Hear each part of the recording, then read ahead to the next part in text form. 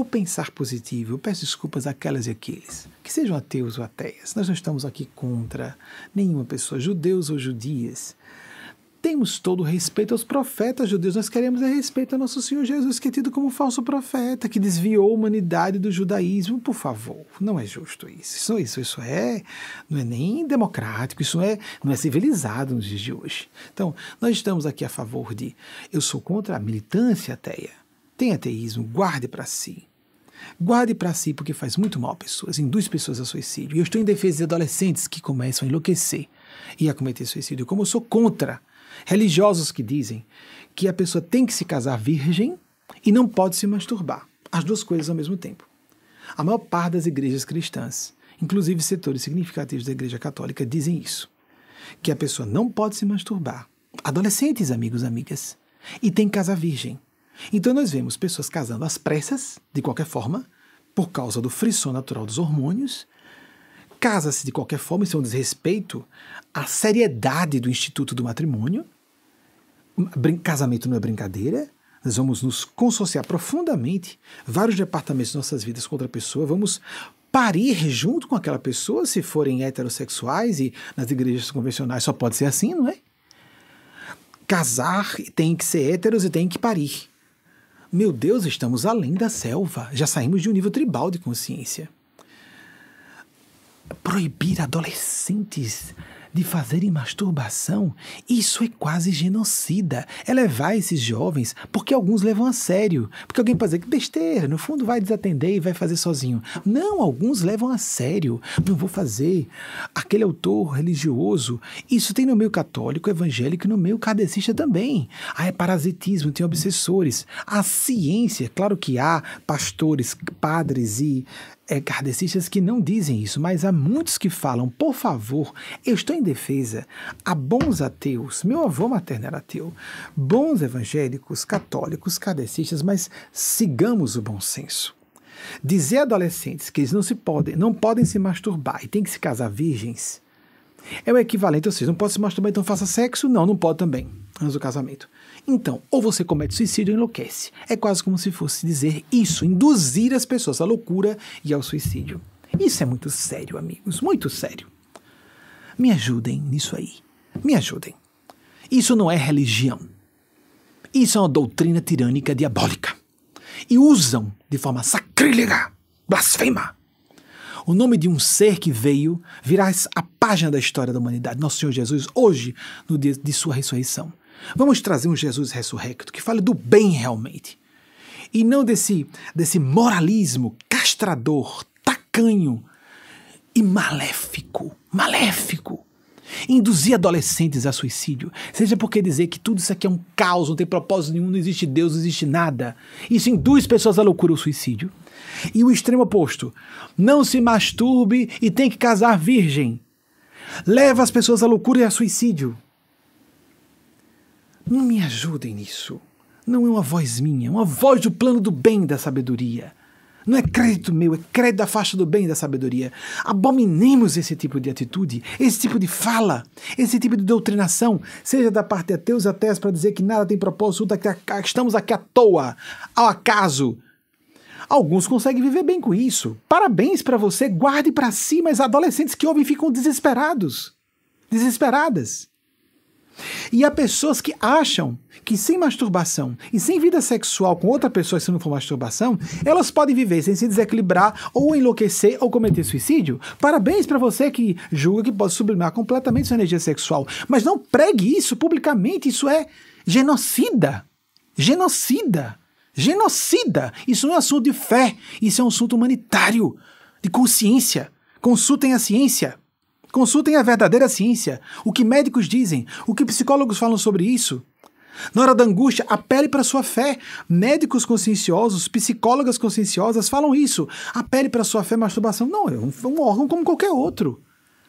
Ah, é porque eu acho que em casar virgem, minha filha, não tem a ver com religião e com a sua fé, sua crença. Vamos ouvir os verdadeiros, as pessoas realmente isentas. Como, por exemplo, apontei aqui a medicina e a psicologia nessa área de sexo e de crença. A fé ajuda na resiliência de pacientes em casos, às vezes, irresolúveis. A resiliência orgânica. a, a capacidade de recuperação de um corpo. E castrar a sexualidade adoece corpos e mentes. Meu Deus, as pessoas têm que rever Freud a essa altura do campeonato. E Jesus, que disse que meretrizes entrariam no reino dos céus anjos e religiosos. Jesus falou isso em Mateus 21, 31.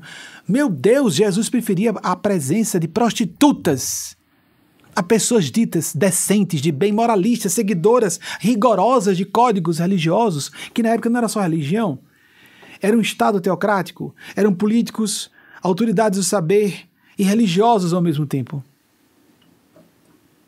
Ele preferia a presença de publicanos, que eram traidores da pátria, cobradores de impostos pelo Império Invasor Romano, e prostitutas meretrizes a religiosos hipócritas.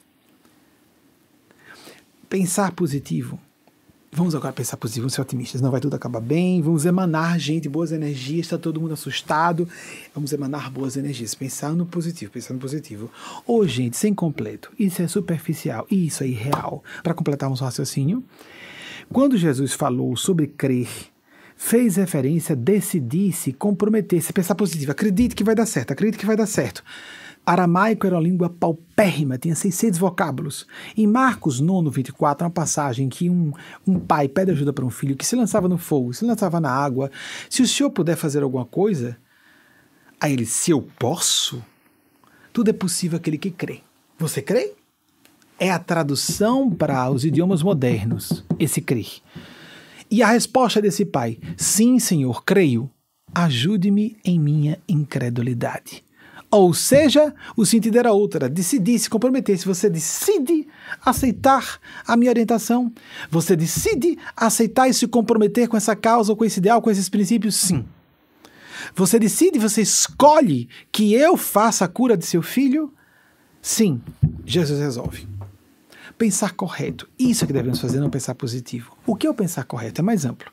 Nós focamos no lado positivo da vida e das, das pessoas e situações. Então tem um foco. Eu quero realizar alguma coisa, eu tenho objetivos. Mas mapeando a realidade, eu tenho que ver onde há perigos. E não com fé, tudo se resolve, lá vamos caminhando sem olhar para o chão. Nós temos que mapear o que é destrutivo. Se o terreno está minado, onde estão as bombas? Onde há os abismos que marginam a estrada? Isso é sensato, isso é realista, isso é lógico. Há muitas pessoas que acham que religião é isso. Não? Ou o pessoal está é, fanático, moralista nas religiões fundamentalistas, ou então está todo mundo nas nuvens, com New Thought, creia, creia, acender uma vela, um incenso. Não é isso. Pessoas da área de New Age sérias não acreditam nisso. Mas mapeando a realidade para que se possa agir com eficácia em função de objetivos de realização e princípios morais previamente estabelecidos.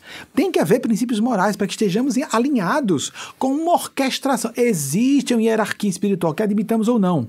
Há seres que nos vigiam e nos dão limites a que algumas coisas aconteçam. Se pensando de forma positiva, ah, acredite que você consegue, então todo mundo seria magnata, geração sobre geração, novos autores e autoras repetem as mesmas falas, não se citam muitas vezes. Parece que é novidade. Ah, o segredo, o poder do pensamento positivo, ou então o poder do subconsciente. A cada geração tem, tem títulos novos, com novos autores dizendo qual a novidade. Acabei de descobrir a novidade. Oh, isso é fraudulento, amigos, amigas. Thought existe desde o século XIX. Claro que nós há um grande poder de autossugestão, tanto é que a medicina, nas suas pesquisas farmacológicas, não só a medicina, mas a farmacologia, usa o efeito placebo. Mas é muito limitado nós acharmos que isso resolve toda a ambivalência, toda a contradição, toda a polifacética manifestação da condição humana, pensando positivo e acreditando que tudo dá certo. Vamos mentalizar agora e eu acredito que amanhã o sol vai surgir com uma bola de sorvete gigante, como uma vez eu disse para uma pessoa mais é, doutrinada pelo New Thought. Ai, vamos acreditar. E amanhã vai ser, se o sol não surgir com uma grande bola de sorvete, é porque eu não acreditei o bastante, porque se você acreditar bastante, tudo é possível. Se nos comprometermos, isso é metafórico, amigos. Se nos comprometermos, nos decidirmos e trabalharmos de acordo, Aí porque você duvidou um pouco. Então, se a gente não duvidar mesmo, tudo dá certo, não é? Nós enlouquecemos, enlouquecemos outras pessoas. Quem é do New Thought, da do New Thought, de forma responsável, sabe que as pessoas têm que trabalhar. Sabe que as pessoas têm que sintonizar com o seu eu profundo. Não tem que querer enganar, manipular ou levar vantagem. Atalhos para o sucesso, atalhos para o poder, atalhos para o dinheiro. Atalhos são coisas do mal. No sentido moral, são. A não ser a questão de Navalha de Ockham, princípio da parcimônia da ciência, a natureza busca caminhos que fluem, não para o mais é, simples, mas o mais eficaz. E às vezes o caminho mais simples é o mais complexo. A biodiversidade, inexplicável pela seleção natural, por exemplo. Se fosse pela seleção natural, nós continuaríamos todos com uma grande sopa proteica original, com seres lá próximos de vírus. A biodiversidade, a complexificação dos seres a partir desse nível elementar de seres vivos, simplesmente não se explica pela seleção natural. Porque quanto mais complexo um ser, mais difícil, é, é de sobreviver. Foi. Então sejamos mais profundos, sejamos mais inteligentes e críticos da crítica, críticos da ciência, porque a ciência, a boa ciência é crítica, a boa filosofia é crítica. E para sermos bons filósofos e bons cientistas, ou bons, religi bons religiosos ou pessoas espiritualistas, temos que ser boas pessoas, e boas pessoas são, antes de ser críticas, são autocríticas.